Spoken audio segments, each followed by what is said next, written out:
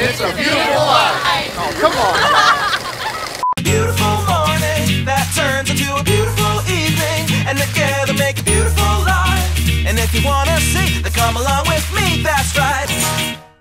Hey, what's happening? I'm filmmaker and photographer R. Alan Ingalls, and it's a beautiful life. Today is November 8th, 2016, Election Day.